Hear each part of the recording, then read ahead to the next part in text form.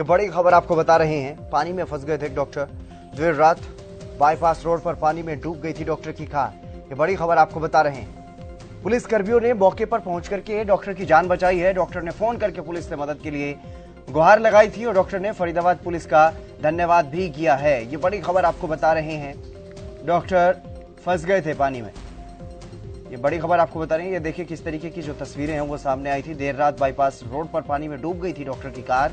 और डॉक्टर ने मदद की, गुहार लगाई फ़ोन करके और पुलिस ने जान बचाई डॉक्टर की। डॉक्टर ने फ़ोन करके पुलिस से गुहार लगाई। पुलिस से मदद की, गुहार लगाई थी और ये तस्वीरें आप देखिए कितनी खतरनाक ये तस्वीरें।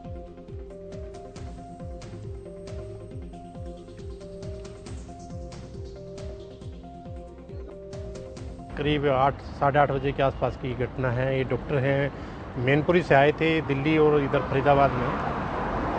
करीब दो ढाई महीने बाद जैसा कि इन्होंने बताया है। और जो हमारा दिल्ली मुंबई एक्सप्रेस वे है, ये बन रहा है, जिसकी वजह से वहाँ कंस्ट्रक्शन वर्क जो चला हुआ है और भारी बारिश के कारण जल जल भरा हुआ था, उसी की वजह से ये रोड से थोड़ा साइड हट गए। और जो कोई साइन बोर्ड वगैरह भी नहीं थे, उसके कोई इधर लेफ़्ट लें राइट लें, इस तरह का, और उस गहरे पानी में उतर गए, जिससे इनकी कार धीरे धीरे डूब गई, और ये बड़ी मुश्किल से बाहर निकले, और कार की छत पर बैठ गए, और तब इन्हें सूझ आया तो इन्होंने डायल वन वन टू को, पे कॉल की। तुरंत मौके पे हमारी एस एच ओ सराय की स्टाफ है, श्री भगवान और नरेंद्र ये पहुँच गए, और उन्होंने इसको सुरक्षित बाहर निकाला। तस्वीर आप देखिए किस तरीके से गाड़ी जो है वो पानी में फंस गई थी और वहाँ पर एक बड़ा हादसा जो है वो हो सकता था। जिस तरीके से गाड़ी ये फंसी और ऊपर की तरफ़ आगे से उठती हुई दिखाई दी।